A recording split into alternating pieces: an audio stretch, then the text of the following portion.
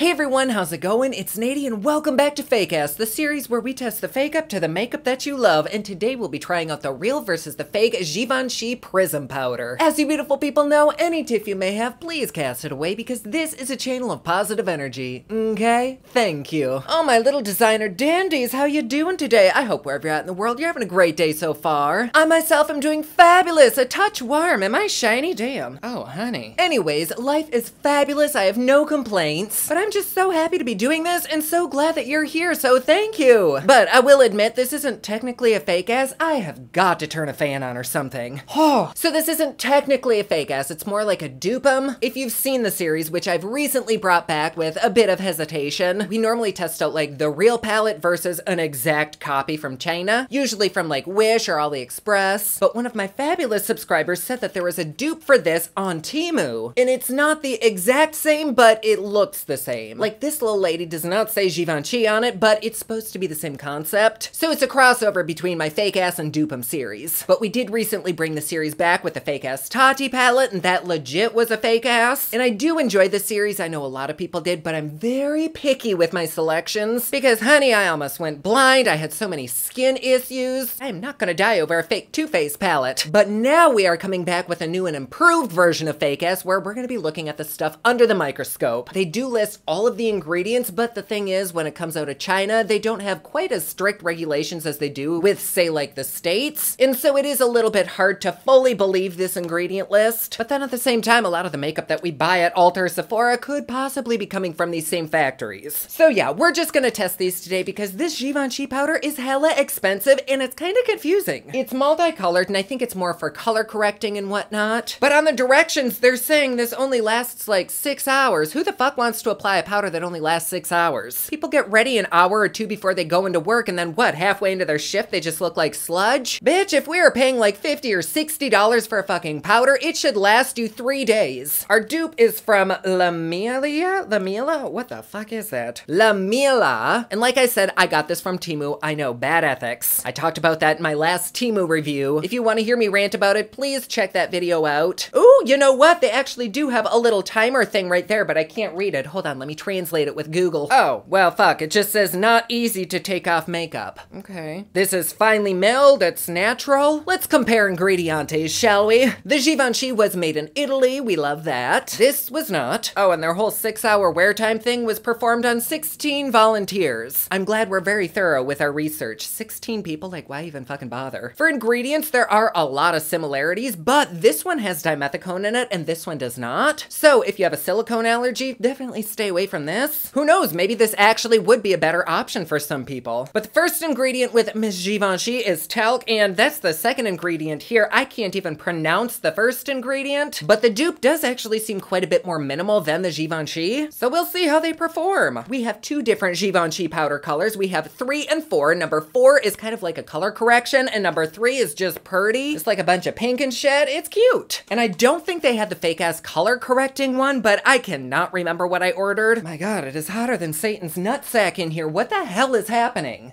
Do you see this? I'm perspiring profusely. Well, actually, that's the perfect time to be testing this powder. Maybe it's a sign from the makeup gods. Okay, I had to turn the AC down. My, like, my pits are sweating. On Sephora, the Givenchy powder is 59 fucking dollars, but it has almost 5 out of 5 stars, so that's not bad. And then the dupe is $3.59. $60 though, my goodness. My titties were in a twist over the Laura Mercier price, but $60? Yes, I'll clutch my pearls. I can't believe I spent $120. Damn it, drunk Nadi. Ooh, that's pretty. It kind of looks like leather on top, very fancy, but otherwise it's just cheap plastic. This does not feel like $60. This should not be $60. You are 1000% paying for that little logo. And then here is the more color correcty one. We have a nice kind of minty green, a lavender, a salmon, and a tan. Uh, ooh, that's cute. It comes with a little poof that says Givenchy on it. Gonna clip those to my ears and wear them as earrings. I'm a designer girl now. Ooh, they'd make good pasties too. And so comfy. No, I'm literally gonna be wiping my sweat off with them in 10 minutes. And then here we have the fake ass version. Oh, I guess I did get something with color. Those are interesting colors. So this is like a milky lime green. Then we have kind of like a sorbet orange. We have a sky blue. And then eh, I don't even know what that color is. It's like the powdered version of a bar's excess drink bucket. Just a little bit of everything everything mixed into one. But in all honesty, this actually feels more luxurious than the Givenchy. It's bigger, I think you get more product in it. It doesn't have the pretty logo on the top, but I can live without that. Let's see if it comes with a poof. Oh my gosh, it does. All right. For comparison, it looks like you actually get like twice the amount of powder in the fake ass, the one that's $3.59. And then here we have number three. Again, we have that very interesting greenish color. They really like that green for some reason. But we're given kind of a petal pink, a really pretty yellow, and an off purple. Is that a color? Like a mix between white and perp. And then here is number one, which, okay, it looks like we have another pretty pink. We have like a yellow, that really weird beigey shade, and another kind of lavendery blue. The Givenchy colors are way more vibrant, so that is kind of disappointing. But you know what? The colors in this less vibrant Givenchy one actually do look the exact same as these. So we're just missing like the really poppin' version, which is a bummer. But now that I'm looking at my order, they don't even have that. So I don't know why I ordered that one from Givenchy, fuck. Okay, baby, we have got to dive into this. I'm dying to feel them. Oh my goodness, even the little safety seal says Givenchy is so fancy. Isn't that just so stupid? We are programmed to think that just a name is fancy. People out here spending $70 on a fucking t-shirt just because of the name. Uh, oh, shit. Well, for $60, that shouldn't happen. Oh my god, it is just getting destroyed. It won't even fucking come off. It's like ripping in half. My goodness, what an absolute mess. All right, so there she is. Ooh, it smells like roses. Wait, does that smell like roses or plastic? I can't tell. It's kind of like baby powder-esque. Let me smell this gal. We are given yet another safety seal on this. Hopefully it comes off easier. The fuck was this stuck down with? This is like military grade. No, this this doesn't have a smell. But what I am confused about is the application. Like, are you supposed to mix all these colors? I guess I thought you'd be able to kind of dip into each one individually, but how is that gonna happen? It must just combine and make one color? Well, so far they are equally as sloppy, but still one is a bit bigger. And I'm not gonna say bigger is always better, but have we ever said bigger is worse? All right, let's feel Miss Givenchy. Oh, that is so beautiful and soft feeling. It's like silk. And then let's feel the fake ass one. It feels the exact same. Absolutely heavenly, just like a pillowcase. And then let's open up our other Givenchy. Gosh, those colors are so beautiful. Doesn't it look like an eyeshadow quad? I don't know, do we just like shake this up? Mm. Oh gosh, now I'm scared. Oh wow, okay. Hmm, yeah, what did we expect? But I'm so confused about this because now this just looks like vomit in a bucket. Everything is combined. It's like we ate spaghetti, blueberries, and maybe munched on a maple leaf. And now all the colors are just there. And now if we shake that back into the tin, all the colors are just getting mixed together. So what the fuck is the point? I could totally be missing something here. I wouldn't be surprised, but please let me know down in the comments below how you are supposed to use this if I'm using it wrong. What the hell? But before we go in with anything, I do just want to try this on my bare ass face since we're shiny. So I don't know. What do we do? Just like stir this around? I bleh. we'll just take our little expensive poof poof, dip right there. That seems like an awful lot, but uh, okay. And let's start right down here where I have a bit of redness. Oh, okay. Oh my gosh, that actually is quite pretty. I mean, it's a powder. Oh, it's smelly. It's kind of like the wealthier stepsister of Coty Airspun. That does, however, look magnificent on the skin. However, does it look any different than any other powder? No. I tried to grab some of the green powder. It's a little bit mixed with the blue, but I do have some redness right there. So let's take this right here and hopefully it'll kind of color correct. Oh my gosh. Like that scene in White Chicks. Oh gosh, that is so stinky. Man. Well, the color is kind of laying down, but now I just look blue, so there is pigment to it. But it's also really inconsistent too. And here is what we are left with. It looks like the aftermath of a pinata. Just a bunch of colors. I can't really specifically grab one. Okay, so I guess we did do this a little bit wrong. On the Sephora website, they say put your powder poof on there and shake it twice. All right, that looks like a classroom project. I'm loving it. And now we will take this and let it soak up our oils. So, damn. That is like $3 worth of powder. And it is a little bit ashy at first, but once you kind of spread it around and buff it out, it doesn't look bad. Like that actually is really pretty. But I would not say $60 pretty. So now let's go in with our little doopy dupe. This is the most colorful version. I don't even know which number it is. But seeing how the Givenchy blended out to pretty much be no color, I don't really think that it's gonna matter that this isn't super colorful. One, two, three. Okay, we did three. Oh, we got a lot less with her. Let's maybe do a couple shakes. Can you see the little bit that she got on there? Yeah? I do appreciate that this has no smell, but we do have a decent combination here. There's lavender, blue, orange, yellow. So let's go ahead and try it over here. Ready? Well, honey, it looks the same. It doesn't feel the same. It doesn't have the dimethicone slickness to it. But as far as how it looks on the skin, there is absolutely no difference. Yeah, that is interesting, isn't it? Well, folks, I think it might be time to pull out the good old microscope because on the face, I cannot see a difference. Can you? Like, neither side really has a white cast to it, or at least no more than the other side does. Ah, yeah, okay. And I think these two are probably the closest and they aren't even that close, but under the microscope, it'll be totally fine. I'm basically just looking for fuzzies, anything crawling around. Pretty much the same thing you'd look for in a hotel room, but under a microscope. Ooh, fuck.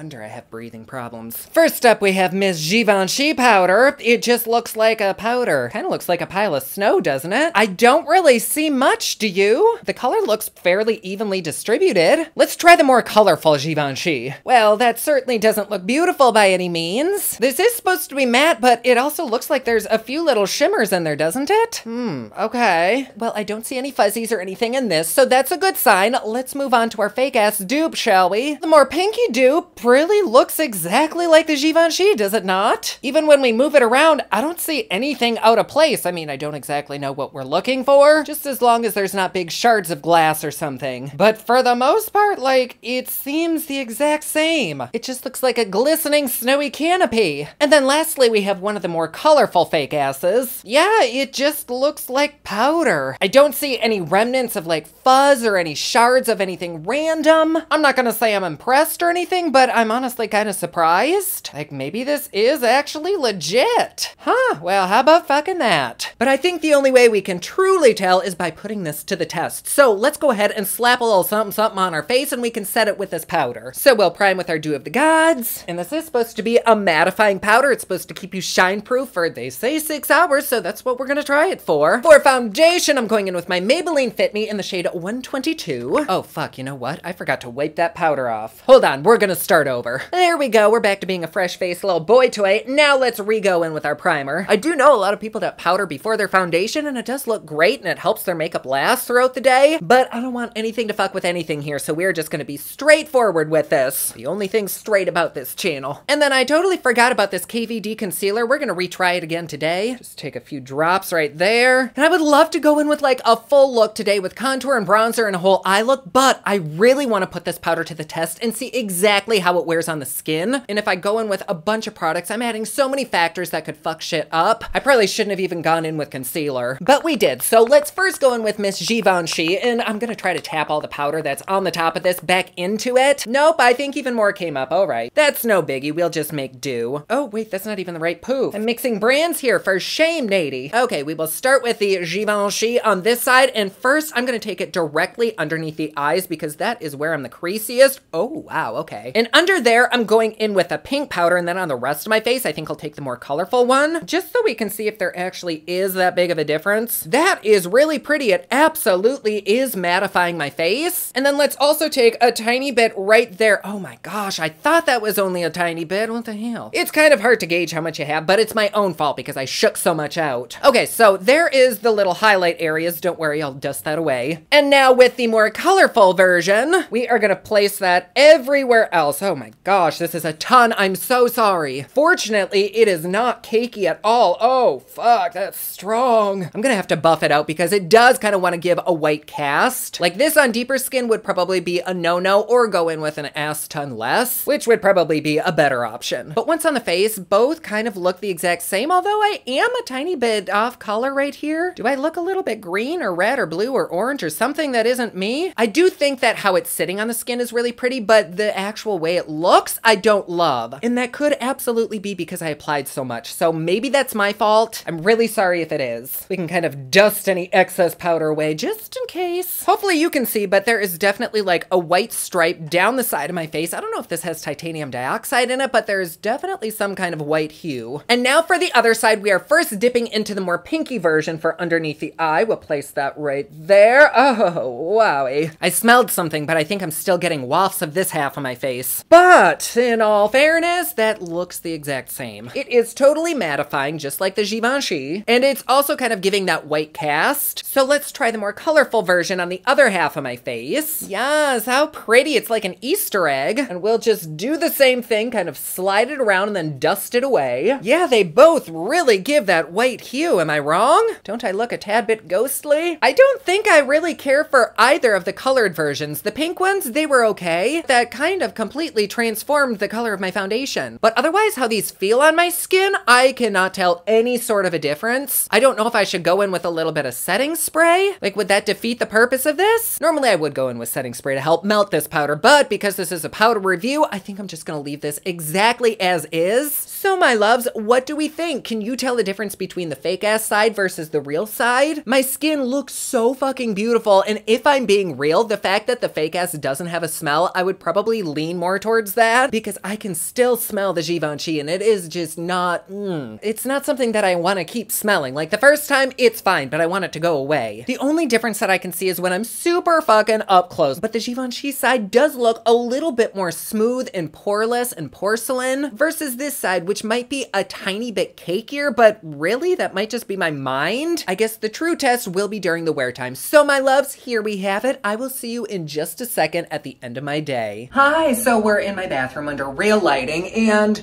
oh, this camera always accentuates the worst features. I promise I don't look this haggard, but damn, that's just a confidence sucker. Doesn't help that I have foundation all over my lips. So both sides honestly look the same. I do still look hella ghostly. I really think this needs set into place with a spray. I think if I still look like this in a few hours and not much has changed, I might give myself a little squirt, giggity. Am I impressed with either? Not necessarily. I definitely don't think the Givenchy is worth the price. I have tried so many Givenchy makeup products and I still have yet to find one that is truly worth the price tag and I don't think this is an exception. But we'll see how it lasts throughout the day. It's only been a couple minutes. I still have like five hours and 59 minutes to go. So see you in a little bit. Hi darlings. Okay, so we're about about an hour into our wear time test, everything I think looks the exact same, but this really does look different in every kind of lighting. So here it looks fine, but then in my bathroom I looked ashy and ghostly, and I put some foundation on my hand and applied a little bit of powder over it just to see if maybe I applied too much on my face, which I probably did. But even with just a tiny smackerel smidgen of powder, it still gave that white hue. So I'm assuming this probably needs set into place with a spray. And so here's how we look. I'm just gonna go in with a couple squirts of setting spray, maybe Maybe that'll help with the ashiness. Mm, okay, let's just do that. Do I look any different? Am I still Casper? Hold on.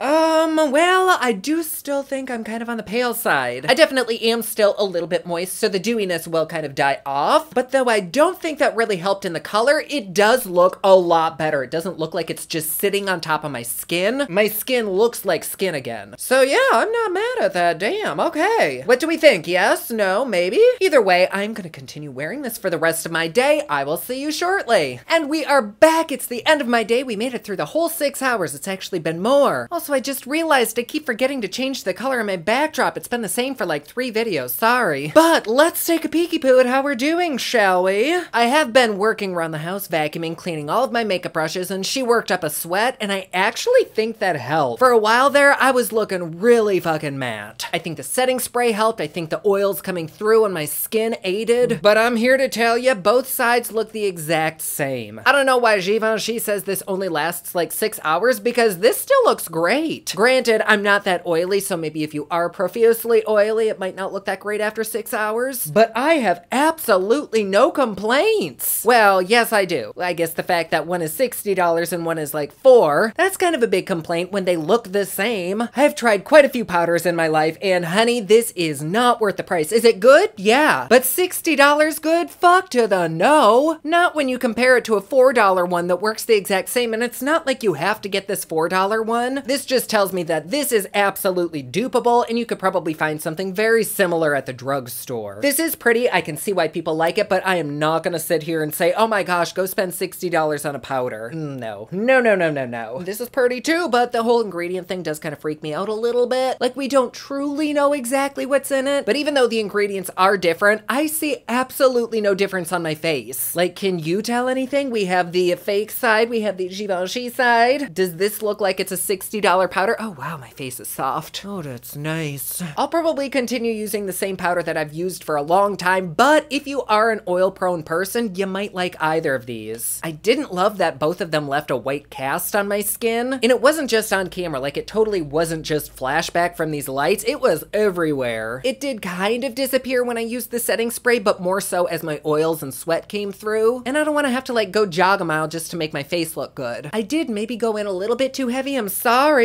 but I did also use that exactly how I use my other powder, and I never have that happen, and it certainly isn't $60 either. I wish it were four. Are they exact dupes? Not ingredient-wise, but performance-wise? Yeah. I don't know what else to say. I think I look better at the end of the day than I did going into it. So there you go, baby. How about them apples? Let me know down in the comments below what you think. Does it look good? Would you use either or neither of these? Would you ever pay $60 for a setting powder? Better blow me and make me dinner for that price. Ugh, why did I smell it again? What the fuck? Anyways, there you go. Thank you so much for being here. I loved having you. And if you want just a little bit more me in your life, head over to my Patreon. It's patreon.com slash popluxe. You get videos a day early. You get Patreon only content. You get a Patreon only store. And best part, it's cheap, fun, and fancy, just like me. And don't forget, my latest Repop collection is available at repopcosmetics.com. Comment down below. Let me know what you thought of this video. Don't forget to like and subscribe. You can follow me on Snapchat, Instagram, and Twitter at officialnadi, and you can follow me online at thepopluxe.com. Thank you so much for watching. I love you all, and I will see you again soon.